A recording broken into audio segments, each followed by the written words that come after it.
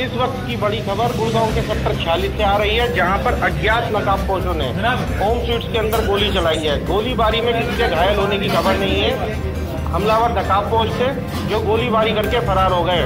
मामला प्रथम दृष्टिया ये देखा जा रहा है लूट का मामला समझा जा रहा है। पुलिस मौके पर मौजूद है।